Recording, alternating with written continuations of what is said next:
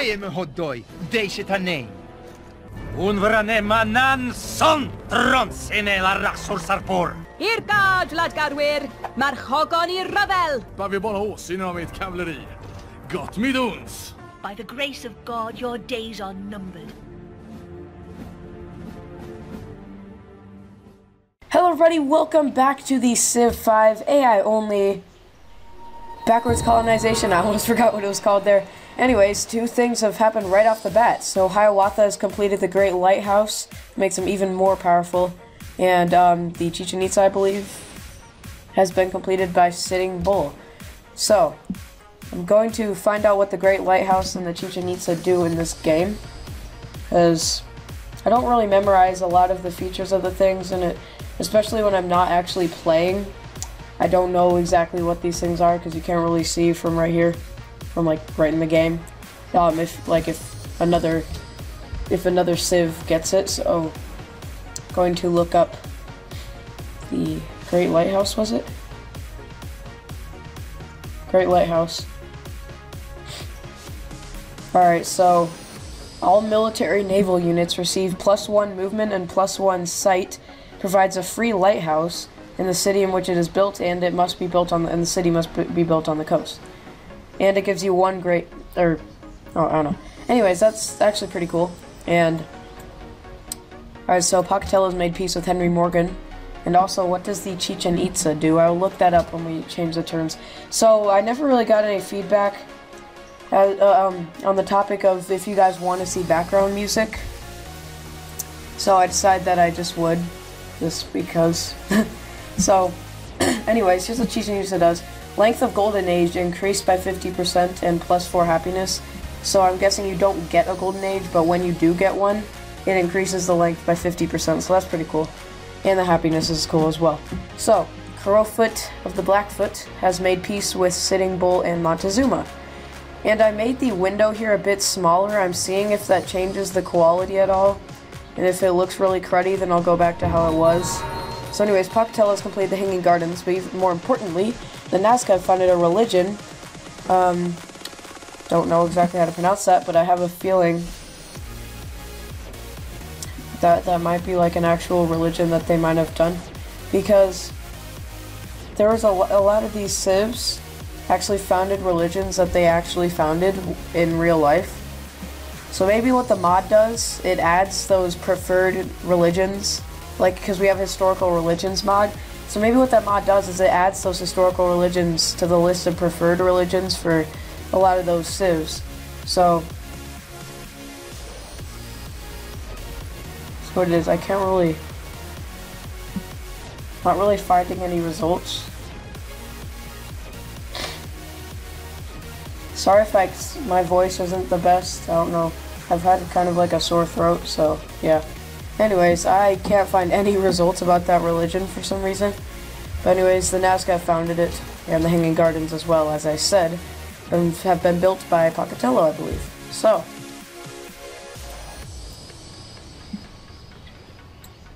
Yeah, so the background music I'm using now, I got it from No Copyright Sounds. There's a lot, there's a lot of really cool tunes on there. And it's it's also cool because you won't get any copyright strikes. Don't have to worry about any of that.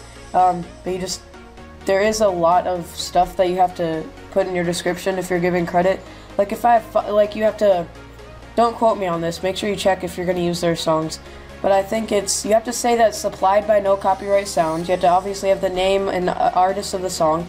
You have to have the link to the video on No Copyright Sounds' YouTube channel.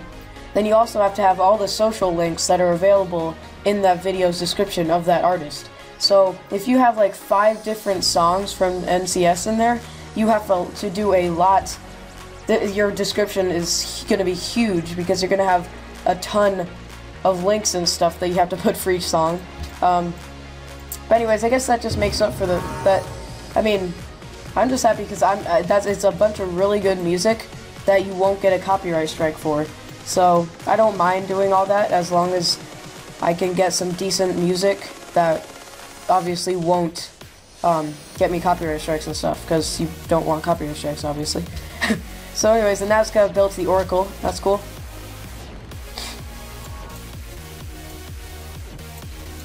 So yeah, again, these cities are actually not most of them. Some of them actually are, um, but a, a lot of them, or, or, yeah, some of them actually are normal, like from the Civ, but other ones are actually adjusted based on the geographical area. So like you see Charleston, South Carolina, New York.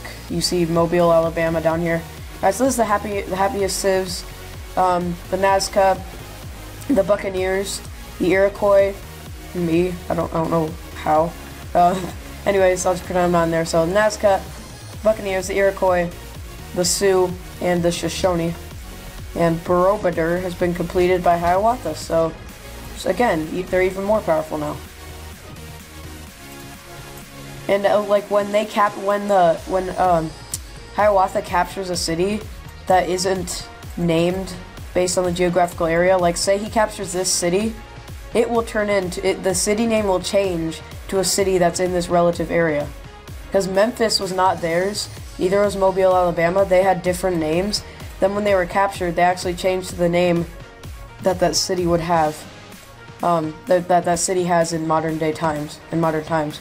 So Anyways, the Shoshone have founded a new religion, Pohakantena, in the city of Cheyenne. Wait, what?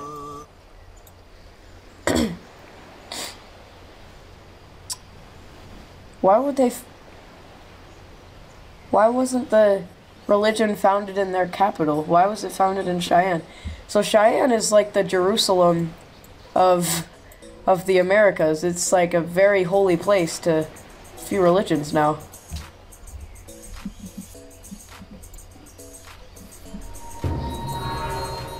So the Great Mosques of Jannah, I probably said that wrong, has been completed by the Maya. Lots of wonders in this episode.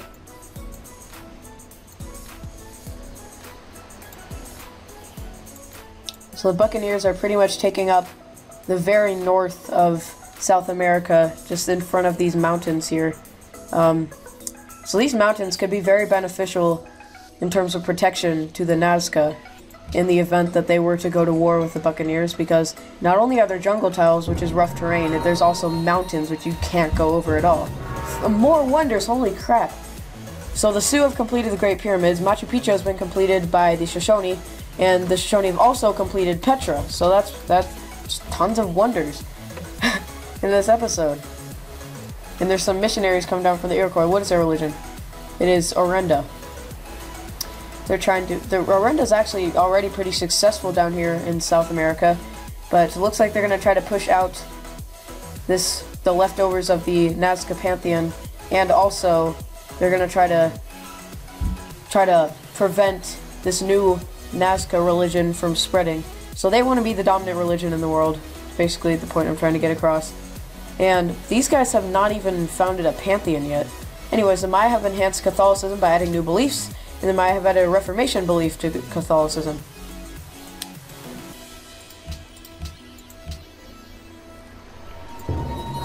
And uh, the Nazca have enhanced Pakaism. I probably said that wrong. Um, and they've also completed the Hagia Sophia, another wonder, in this same episode. And they're catching up on the score, in terms of score, with the Iroquois. They're miles, those two are miles ahead of everyone else. Now they complete another wonder, the Great Wall, and now they're ahead of Hiawatha, and that gives them even more protection. Not only is there rough terrain, not only is there mountains, there's also the Great Wall of China, and I have a golden age for no reason at all. But they are so protected right now. I will be surprised if they ever lose a city in the event of a war. And look at their capital, it's even more secure. Although it could potentially be vulnerable to ocean attacks, like ranged attacks, and then maybe people coming in, because then there's just two, uh, what is this? Maybe that's a Nazca thing. I guess, geoglyph. Um, they, they could potentially be kind of vulnerable to attacks from, like, maybe units coming in from the sea, or maybe making their way around here. So although it is rough terrain, I mean, if they come in from the ocean especially, it's just a couple blocks and then they're to the capital. Or a couple tiles, I mean. So... But yeah, anyways, I think I think the Great Wall of China may...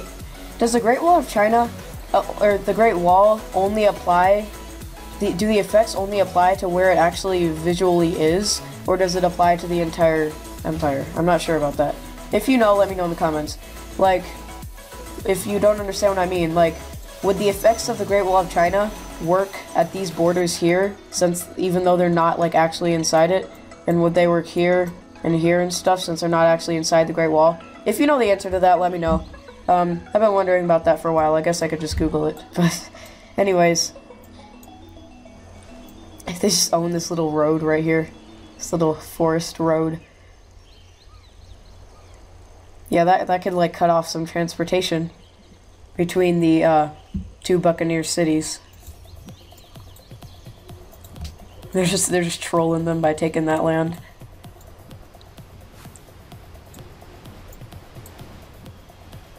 So these cities, whoa, this is a very diverse city here. Four religions in here. So I'd say like this south, the south of of the United States and maybe like northern Mexico is like going to be the battleground where all of the religions kind of meet. And then you and then this is like the very center. You have four religions in one city. Um this what why is it not a holy city anymore?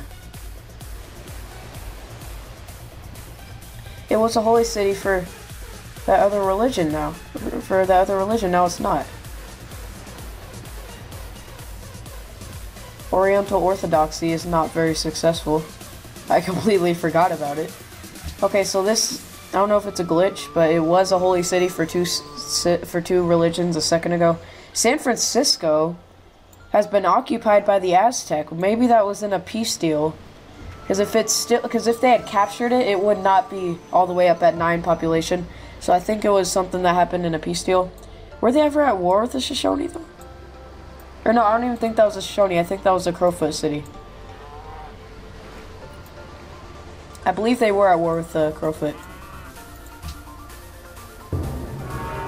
And speaking of, or not with the Crowfoot, with the Blackfoot, but the leader's Crowfoot. It's confusing. Anyways, Crowfoot of the Blackfoot has completed Colossus. Yet another wonder in one episode. Oh my gosh.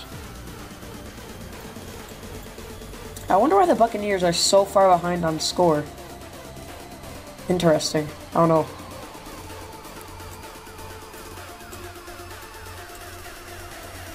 And the Maya actually are down to one city, and somehow they're that far above these guys who have four cities.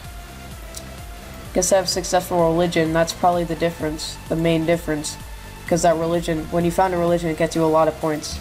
Obviously, score doesn't matter in the end, but just interesting. So was this in a peace deal kind of thing, or was this actually captured? Not sure. Oh, and a new city has been founded, Santiago de Cuba. It's been founded by the Iroquois. So that's where the Buccaneers could have settled. Or did I actually, didn't I move them? I think I moved, I think this is where the settlers were glitched, so I moved them. This is where they should have been. Um, they're, like the Buccaneers were mainly in these Caribbean islands and like parts of Central America, so this isn't extremely accurate as to where they actually were. Um, oh well.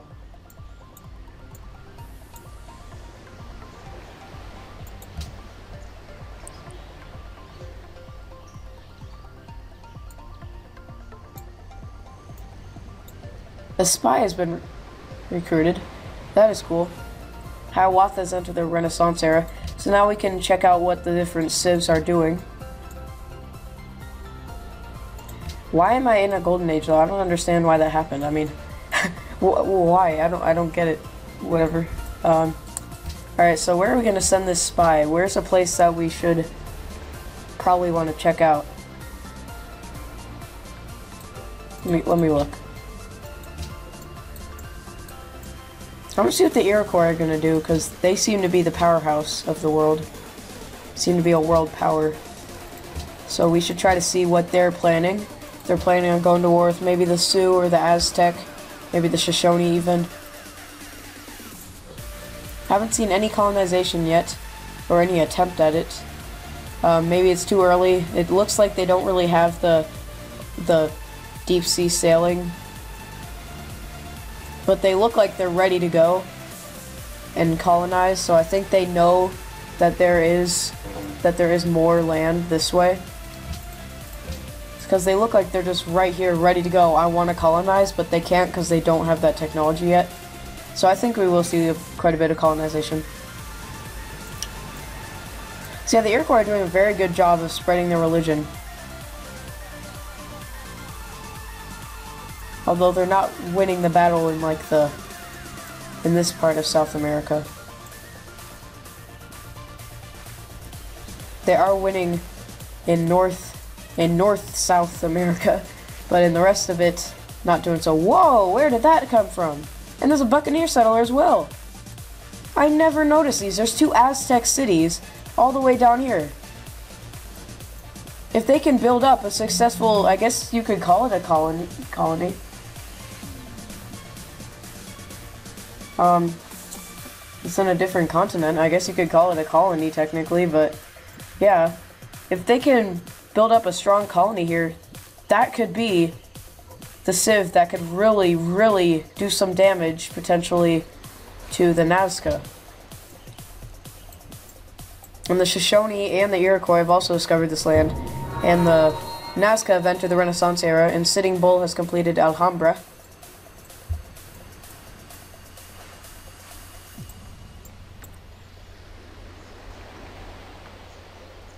So when is our spy? Two turns. He and he will establish surveillance in uh, New York. Then we can see what the Iroquois are up to. So again, sorry for not uploading this for a little, for a week. Um, I'm going on winter break soon, yes. and I finished all of my finals and exams and stuff, so I'm really happy. Um, yeah, so anyways, let me know if you guys are having exams and if you're going into winter break soon. If you're, um, if you're, if you, if you are having exams at this time, are you, are you glad that, um, my brain is exploding. If you're going onto winter break soon, let me know if you're excited and like, I don't know, what you're gonna do, maybe what holiday you celebrate, if it's Hanukkah or if it's Christmas or Kwanzaa, whatever. So, um, yeah, if you guys are going on to winter break soon, let me know in the comments. Winter break is awesome.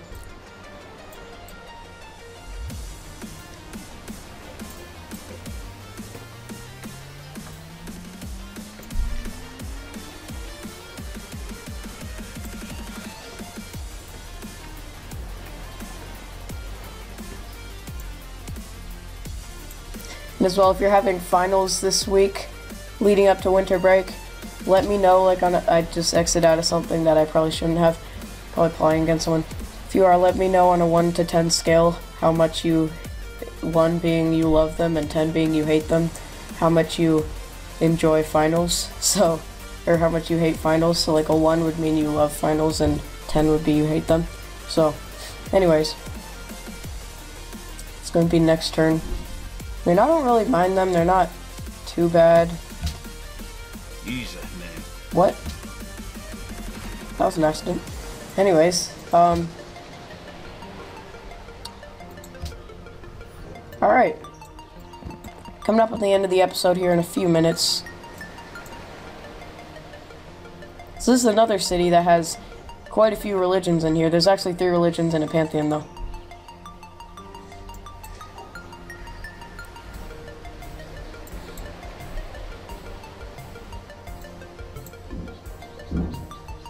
Whoa!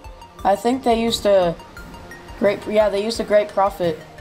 Or maybe it was an inquisitor. I don't know if they have those yet, but it seems like they just completely, it was probably the great prophet. Seems like they just, because they, the Oriental Orthodoxy was not extremely successful. And all of a sudden, it's the dominant religion in the city. Everyone is now a member of it. There's no other, well, speak of the devil, there's now another religion in there. Alright. Anyways. Just as I say that, another religion pops into the city. Anyways, I was just gonna say there's no other religions in there. Now there are. Anyways, the Nazca have completed Angkor Wat.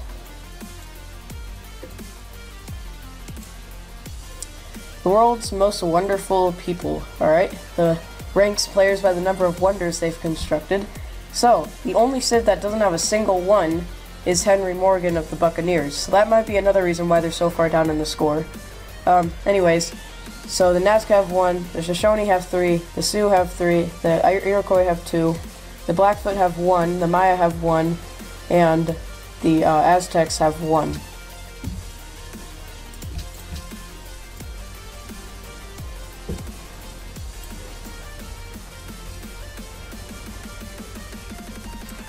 Alright, so this is looking like a very powerful military here that the Iroquois have.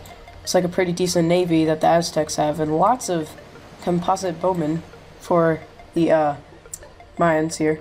Anyways, speaking of the Mayans, they're being plotted against by the Iroquois, so I would be kind of afraid, although they don't really have any boats to escort their units, so they pretty much just have to sail across the sea, just their units by themselves. And when a unit like a land unit is in the water, it's very vulnerable. So, um, if they don't get if they if they're going to declare war on the Mayans, they need to get boats to escort their units over here, or else they might lose a lot of them.